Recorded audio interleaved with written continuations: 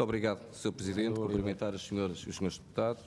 Cumprimentar o Sr. Presidente da IP, Engenheiro António Laranja. Cumprimentar o Vice-Presidente, Engenheiro Carlos Fernandes e a restante comitiva que o acompanha.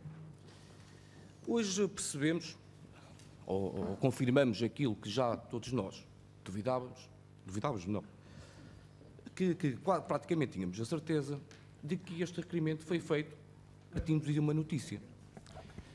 Ora bem, não me parece que tivesse mal, partindo de uma notícia, a existência de um requerimento. O que não nos parece totalmente correto é a seletividade das notícias. Pois bem, a notícia que sai e que dá razão ao requerimento do PSD no dia 19 de, de, de novembro foi no mesmo dia desmentida, também por um comunicado noticiado também pelas infraestruturas de Portugal. Ou seja, o PSD, com uma notícia infundada, resolve fazer um requerimento. Porque não se satisfaz com uma notícia fundamentada pelas infraestruturas de Portugal. Ou seja, a mesma entidade, a mesma entidade que desmente a notícia é a mesma entidade que o PSD quer ouvir. Muito bem, muito bem. Era apenas, poderia, poderia ter, ter feito o requerimento antes de ter lido a notícia. Ou poderia ter acontecido. Não fosse o facto também de quando olhamos para o requerimento do PSD, continuarmos a ver essa mesma seletividade. Ora, começam a falar do, do ministro Pedro Marques e passam diretamente, e passam diretamente para uma notícia de agosto, em que falavam do vice-presidente das infraestruturas de Portugal.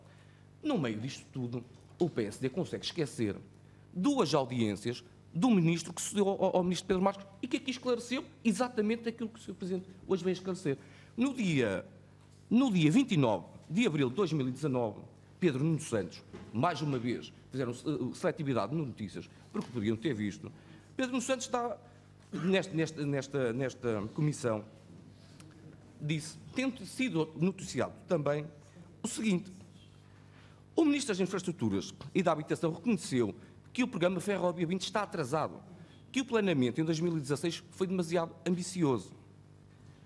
Mais, esclareceu ainda que estamos muito atrasados em algumas obras e disse que isso tinha, muito, tinha também a ver com o facto da IP ter perdido recursos ao longo dos anos. Este, ao, ao dia de hoje, o que nós deveríamos fazer aqui nesta, nesta, nesta, nesta audiência era perguntar, não pelos atrasos, porque esses já tinham sido esclarecidos, nada, nada veio aqui de novo, já tinham sido assumidos. Era o que é que teria sido feito. Ou seja, as dificuldades já tinham sido detectadas. Problemas na contratação, problemas na execução de projetos. Bom, e problemas também nos recursos eh, da, da, da IP.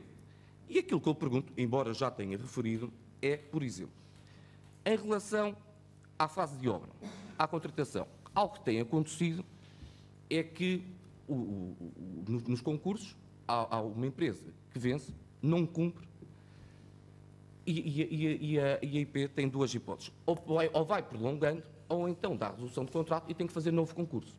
Bom, com o novo código de contrato de, de, de contratação pública, isso já, já, já não é assim. Ou seja, já prevê, isto irá acontecer já em fase de obra, que se o vencedor de, do concurso não cumprir, neste caso, o Estado poderá passar imediatamente ao segundo, sem ter que lançar novo concurso.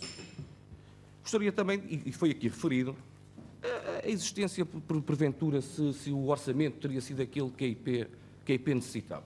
Eu gostaria também de perguntar ao Sr. Presidente se tem sentido dificuldades é nas portarias de extensão apresentadas, nomeadamente no último, no último ano. Se as portarias de extensão apresentadas nos documentos referentes ao Ferrovia 2020 se tem sentido algum atraso e que, neste caso, prejudicasse a execução do, do, do, do programa. Muito.